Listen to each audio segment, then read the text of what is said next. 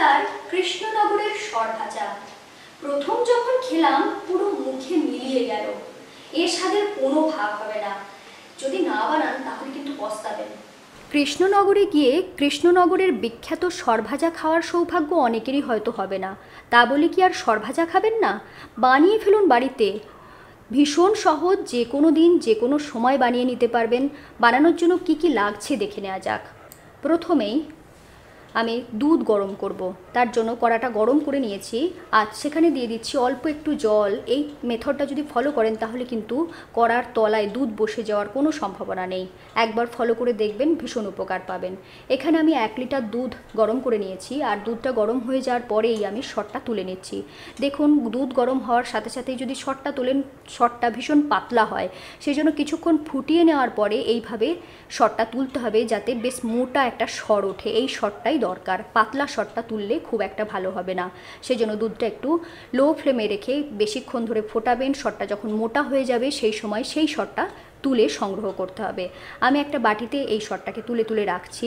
এইভাবে আপনারা একদিনেও এই শট তুলে তুলে এক বাটি করতে পারেন কিংবা এক সপ্তাহ, দু সপ্তাহ ধরে শটটা তুলে তুলে ফ্রিজে রেখে দিতে পারেন। পরে যখন এক বাটি হয়ে যাবে, তখন মিষ্টিটা বানাতে পারেন। যেটা আপনারা পছন্দ করবেন, সেটাই করতে পারেন। আমি এইভাবে শট তুলে তুলে এক সপ্তাহ ধরে রেখেছিলাম। দেখুন, এক বাটি তৈরি হয়েছে। মানে এটা এক কাপের থেকেও একটু বেশি শটটা আমি নিয়েছি। সর রেডি হয়ে গিয়েছে, এরপর মিষ্টিটা বানাতে হবে। সরটা আমি এখানে নিয়ে নিচ্ছি সরের তলায় কিছুটা দুধ রয়ে গিয়েছে, এই দুধটা কিন্তু আমি নেব না। দুধটা যদি নিয়ে নিয়ে নেন তাহলে এটার যে ডোটা তৈরি হবে খুব পাতলা হয়ে যাবে, সেক্ষেত্রে অসুবিধা হবে সেই জন্য শুধুমাত্র শটটাই নেবেন। শটটাকে ভালো করে চামচের সাহায্যে এইভাবে মিশিয়ে নিচ্ছি যাতে বেশ মোলায়েম হয়ে যায়। দেখুন শটটা এমনিতেই খুব নরম, মোলায়েম হয়ে গিয়েছে, এরপর এখানে দিয়ে দিচ্ছি হাফ কাপ ময়দা। ময়দাটা খুব বেশি দেওয়া যাবে না সেই জন্য প্রথমে আমি হাফ হাফ কাপ দিচ্ছি, দেওয়ার পরে দেখতে হবে যে আর কতটা লাগবে। খুব বেশি ময়দা দিলে মিষ্টির কোয়ালিটিটা অনেক খারাপ হয়ে যাবে সেই জন্য কম ময়দাতে যদি বানাতে পারেন সেটাই ভালো। এরপরে দিয়ে দিচ্ছি হাফ কাপ গুঁড়ো দুধ। গুঁড়ো দুধের পরিবর্তে আপনারা খোয়া দিয়েও এটা বানাতে পারেন, তবে আমি গুঁড়ো দুধ দিয়ে বানাচ্ছি, এটাও খেতে বেশ সুন্দর হয়। আর দিয়ে দিচ্ছি হাফ চা চামচ খাবার সোডা। খাবার সোডাটা দিতে হবে, কিন্তু খুব বেশি দেবেন না, তাহলে ভেঙে যেতে পারে মিষ্টিটা। সেই জন্য হাফ চামচের বেশি কিছুতেই দেবেন না। এরপরে সব জিনিসটাকে বেশ ভালো করে মেখে নিচ্ছি। সর রয়েছে মানে খুব নরম হবে ডোটা, আর ডোটা নরমই দরকার, খুব বেশি মোটা হলে ভালো লাগবে না মানে শক্ত হলে ভালো লাগবে না। ভালো করে এটাকে এইভাবে ঘুরিয়ে ঘুরিয়ে মেখে নিচ্ছি। দেখুন, এখন ডোটা বেশ পাতলাই রয়েছে সেই জন্য এতে আরেকটু ময়দা লাগবে। এরপরে আমি দিয়ে দিচ্ছি ওয়ান ফোর্থ কাপ ময়দা। প্রথমে আমি দিয়েছিলাম হাফ কাপ ময়দা, এরপরে ওয়ান ফোর্থ কাপ ময়দা দিলাম। এই ময়দাতেই কিন্তু সুন্দরভাবে ডোটা তৈরি হয়ে গিয়েছিল, আর ময়দা লাগছে না। ডোটা খুব বেশি টাইট হবে না, একটু নরমের দিকেই হবে। দেখুন, আস্তে আস্তে এটাকে ঘুরিয়ে ঘুরিয়ে মেখে নিচ্ছি। এইভাবে আমি কিছুক্ষণ রেখে দিয়েছিলাম। রেখে দেওয়ার পরে দেখুন, এটা সেট হয়ে গিয়েছে সুন্দরভাবে। এরপরে আর একবার মেখে নিচ্ছি। এইভাবে আর একবার মেখে নিলে ডোটা খুব সুন্দর হবে। এই সময় দিয়ে দিচ্ছি এক চা চামচের মতন ঘি। ঘিটা দিলে ডোটা আরও সুন্দর হবে সেই জন্য আমি ঘিটা দিলাম। আর হাতে যে চেটা চেটা ব্যাপারটা রয়েছে, সেটা কিন্তু ঘি দিলে আর থাকবে না। ভালো করে মিশিয়ে নিচ্ছি। ডোটা সুন্দরভাবে তৈরি হয়ে গিয়েছে, দেখুন, একদম সুন্দর পাক হয়ে গিয়েছে। এরপরে এটাকে দেখিয়ে দিচ্ছি, দেখুন, এরকম নরমই রয়েছে। এরপরে আমি একটা চৌকো পাত্র নিয়েছি, যে যে কোনো টিফিন বক্স চৌকো শেপের দিতে পারেন, কারণ এটা চৌকোই তৈরি হবে সেই জন্য চৌকো শেপের টিফিন বক্স হলে খুব ভালো হয়। এখানে আমি একটা প্লাস্টিক পেতে দিচ্ছি, আপনাদের যদি বাটার পেপার থাকে সেটাও পাততে পারেন। এরপর ডোটাকে এখানে দিয়ে দিচ্ছি, ডোটা দেখতেই পাচ্ছেন, বেশ নরম নরম রয়েছে। এরপরে এটাকে স্প্রেড করে দিতে হবে। আমি একটা খুন্তি নিয়েছি এরকম। খুন্তির সাহায্যে এটাকে পাতলা করে মিলে দিতে হবে। পাতলা হলেই ভালো হয়, খুব বেশি মোটা করে কিন্তু এটাকে মেলা যাবে না, তাহলে অসুবিধা হবে মিষ্টিটা বানাতে। তলার দিকে একটু ঘি গ্রেজ করে দিচ্ছি। ঘি বা তেল গ্রেজ করে দিতে পারেন, তাহলে এটাকে মিলতে সুবিধা হবে, চিটে যাবে না। এরপরে এইভাবে মিলে দিয়েছি, আবার একটু ঘি গ্রিজ করে নিচ্ছি, যাতে বেশ ওপরটা স্মুথ করে মেলা যায়। ওপরটা বেশ স্মুথ হলে যখন মিষ্টিটা ভাজা হবে, তখন দেখতে ভালো লাগবে না হলে দেখতে অতটা ভালো লাগবে না। সেই জন্য একদম প্লেন করে এটাকে মিলে নিয়েছি। এরপরে এটাকে ঢাকা দিয়ে আমি ফ্রিজে রেখে দেবো সেট হওয়ার জন্য। ফ্রিজে নর্মাল ফ্রিজে রাখতে পারে না যদি তারা থাকে সেক্ষেত্রে ডিপ ফ্রিজে অল্পক্ষণের জন্য, আধ ঘণ্টার জন্য রেখে দিলেও হয়ে যাবে। এরপর রসটা বানাবো। রস বানানোর জন্য আমি এখানে নিয়েছি এক কাপ চিনি আর নিচ্ছি এক কাপ জল। রসের জন্য এই রেশিওটাই খুব ভালো।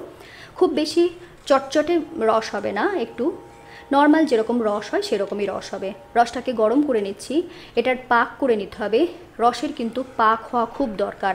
শুধুমাত্র চিনিটা গলে গেলেই রস তৈরি হয়ে যায় না। এটাকে পাক করে নিতে হয়, তাহলে রসটা বেশ ভালো হয়, মিষ্টিটা খেতে অনেক বেশি সুস্বাদু হয়। আমি মোটামুটি পাঁচ মিনিট মতন এটাকে ফুটিয়ে নেব। এর মধ্যে দিয়ে দিচ্ছি দুটো এলাচ, যাতে রসের গন্ধটা খুব সুন্দর হয়, সেজন্য এলাচ দিলাম। এরপরে এটাকে একটু নাড়াচাড়া করে নিয়ে ফুটিয়ে নিচ্ছি, যাতে রসের পাকটা বেশ ভালো করে হয়ে যায়। দেখুন, অনেকটাই পাক হয়ে গিয়েছে। দেখিয়ে দিচ্ছি রসটা কতটা চিটচিটে হবে। এই রসটা খুব বেশি তার হওয়ার দরকার নেই। দেখুন, চামচটা ঠান্ডা হওয়ার পরে আমি হাতে তুলে দেখিয়ে দিচ্ছি। দেখুন, তার হচ্ছে না, কিন্তু চটচটে ব্যাপারটা চলে এসেছে। এই চটচটে ব্যাপারটা এসে গেলেই বুঝবেন যে রসটা তৈরি হয়ে গিয়েছে। আর ফোটানোর দরকার নেই, এরপরে আমি ঢাকা দিয়ে এটাকে সাইড করে রেখে দেব। এরপরে আমি দেখিয়ে দিচ্ছি, ফ্রিজ থেকে বার করে নিয়েছি, দেখুন। এই ডোটা সুন্দরভাবে সেট হয়ে গিয়েছে। এরপর কেটে নিতে হবে পিস পিস করে। যেমন চান ছোট কিংবা বড়, সেই অনুযায়ী পিস করে কেটে নিতে হবে। তবে এটা চৌকো শেপেরই পিস হবে, কারণ সর ভাজা চৌকো শেপেরই হয়। সেই জন্য আমি এটাকে ছুরির সাহায্যে কেটে নিচ্ছি। দেখুন কতটা সুন্দর সেট হয়েছে যে ছুরি একদম সুন্দরভাবে চালানো যাচ্ছে। কোথাও ভেঙে টেঙে যাচ্ছে না। এরপরে আমি চৌকো চৌকো করে এইভাবে কেটে নিচ্ছি। এরপরে তুলে দেখাচ্ছি। যেহেতু তলায় প্লাস্টিক দেওয়া আছে, খুব সহজেই উঠে যাবে। সেই জন্য চেষ্টা করবেন তলায় বাটার পেপার কিংবা প্লাস্টিক দিতে। দেখুন, সুন্দরভাবে সেট হয়েছে, একদম সুন্দরভাবে উঠে এলো। কোনো রকম ভেঙে যাওয়া বা কিছু হয়নি এবং ডোটাও ভীষণ ভালোভাবে তৈরি হয়েছে। এই রকমই ডোটা দরকার। এরপরে সব মিষ্টিগুলোকে এইভাবে তুলে নিচ্ছি আর তুলে একটা প্লেটে আমি রেখে দিচ্ছি, কারণ এগুলোকে ভাজতে হবে। প্রত্যেকটাই আমি তুলে নিচ্ছি এবং তুলতে কোনো রকম সমস্যা হচ্ছে না। যদি ডোটা খুব ভালো তৈরি হয়, তাহলে কিন্তু মিষ্টিটা তৈরি হবে খুব ভালো এবং খেতেও অনেক বেশি সুস্বাদু হবে। প্রত্যেকটা তোলা হয়ে গিয়েছে, এরপর প্যান বসিয়ে নিয়েছি। এরকম চ্যাপটা শেপের কোনো প্যানেতে যদি ভাজেন সেটাই খুব ভালো হবে। দিয়ে দিচ্ছি সাদা তেল আর ঘি। পুরোটা ঘিয়েতে ভাজতে পারেন, তবে আমি সাদা তেল আর ঘি দুটো মিক্স করেই ব্যবহার করছি। তেলটা একদম হালকা গরম হবে, সেই সময় মিষ্টিগুলো দিতে হবে। তেলটা যদি খুব বেশি গরম হয়ে যায় আর সেই সময় মিষ্টিগুলো দেন, তাহলে কিন্তু মিষ্টিগুলো সব ভেঙে যাবে, কোনোভাবেই ভাজতে পারবেন না। এই এই কথাটা কিন্তু অবশ্যই মনে রাখতে হবে, না হলে কিন্তু মিষ্টিটা একেবারেই হবে না। তেলটা হালকা গরম থাকার পরে মানে হালকা গরম থাকা অবস্থাতেই মিষ্টিগুলো একে একে ছেড়ে দিচ্ছে। এরপরে লো ফ্লেমে রেখে এটাকে আস্তে আস্তে ভাজতে হবে ধৈর্য ধরে। ফ্লেম কখনোই বাড়ানো যাবে না। দেখুন, আস্তে আস্তে এটা অনেকটাই বড় হয়ে গিয়েছে, ফুলে গিয়েছে। ওপর থেকে একটু তেল দিয়ে দিচ্ছি যাতে ওপরগুলো বেশ ভালো করে হয়ে যায়। লো ফ্লেমে রেখেই এটাকে ভাজতে হবে। যখন সেকেন্ড এইটা ভাজা হয়ে যাওয়ার পরে সেকেন্ড আবার ভাজতে যাবেন, তখন কিন্তু গ্যাসটা অফ করে আবার তেলটাকে ঠান্ডা করে নিতে হবে। হালকা গরম থাকা অবস্থাতেই আবার মিষ্টিগুলো দিতে হবে। এইভাবেই ভাজতে হবে। ভাজাটা এর খুব খেয়াল রেখে করতে হবে। যদি হাই ফ্লেমে করতে যান, তাহলে কিন্তু সমস্যায় পড়বেন। দেখুন, একটা সাইড হয়ে গিয়েছে, এরপর এটাকে উল্টাতে হবে, উল্টানোর সময় হালকা হাতেই উল্টাতে হবে, নাহলে ভেঙে যেতে পারে। এগুলো খুব নরম হয় আর ক্রিস্পি হয়, মুচমুচে হয়, আর খাওয়ার সময় বুঝতে পারবেন যে একদম মুখে দেওয়ার সাথে সাথে মিলিয়ে যাচ্ছে। দেখুন, আস্তে আস্তে আমি খুন্তি দিয়ে উল্টে দিচ্ছি, কি সুন্দর দেখতে হয়ে গিয়েছে। একে একে সব কটাই উল্টে দিচ্ছি, আর অনেকটা ফুলে বড়ও হয়ে গিয়েছে। প্রত্যেকটা মিষ্টি আমি এইভাবে উল্টে দিচ্ছি। এরকম যখন গোল্ডেন কালারের হয়ে যাবে সোনালি বর্ণের, তখনই বুঝবেন যে এটা সুন্দরভাবে তৈরি হয়ে গিয়েছে। অন্য সাইডটা ভালো করে ভাজা হয়ে গেলেই এটাকে তুলে নিতে হবে। খুব বেশি লাল করে ভাজতে গেলে ভালো লাগবে না দেখতে সেই জন্য হালকা করে ভাজলেই ভালো। মোটামুটি হয়েই গিয়েছে। এরপর এটাকে আমি তুলে নেব। একে একে তেল ছড়িয়ে তুলে নিচ্ছি। এর পরের ব্যাচ যখন ভাজবেন, তখন গ্যাসটাকে অফ করে দিতে হবে এবং তেলটা যখন হালকা গরম থাকবে, সেই অবস্থাতে পরের মিষ্টিগুলো ভাজতে হবে। এটা খেয়াল রাখবেন। সব মিষ্টিগুলো আমি তুলে নিচ্ছি। এরপরের মিষ্টিগুলো আমি ছেড়ে দিচ্ছি। এরপরে যে পাত্রে আমি সার্ভ করব, সেই পাত্রে মিষ্টিগুলোকে নিয়ে নেব। কারণ এই মিষ্টি, মিষ্টিগুলো ভীষণ নরম তুলতুলে হয়। সেই জন্য আমি এইখানে প্রথমে মিষ্টিগুলোকে ভালো করে সাজিয়ে নিচ্ছি, যেমনভাবে সার্ভ করবেন, তারপরে ওপর থেকে রসটাকে দিয়ে দিচ্ছি। রসটা হালকা গরম রয়েছে, সেই অবস্থায় রসটা ওপর থেকে দেওয়ার সাথে সাথে দেখুন কত সুন্দর শোক করছে, তার মানে কতটা ক্রিস্পি মুচমুচে হয়েছে, বুঝতে পারছেন? এই মিষ্টিটা অবশ্যই বাড়িতে বানান। কৃষ্ণনগরে গিয়ে যদি নাও খান, নিজের বাড়িতে বানিয়ে খান, দেখুন কৃষ্ণনগরে বসে সরভাজা খাওয়ার টেস্ট পাবেন বাড়িতে, নিজের বাড়িতেই। আর আমাকে কমেন্ট করে জানান যে এই রেসিপিটা আপনার কেমন লেগেছিল।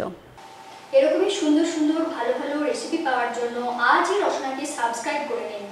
আর বেল আইকন প্রেস করে রাখুন যাতে আমার সমস্ত নতুন ভিডিওর নোটিফিকেশান সবার আগে আপনার কাছে পৌঁছে যায়। ভালো থাকুন, সুস্থ থাকুন থ্যাঙ্কস ফর ওয়াচিং সঙ্গে থাকুন।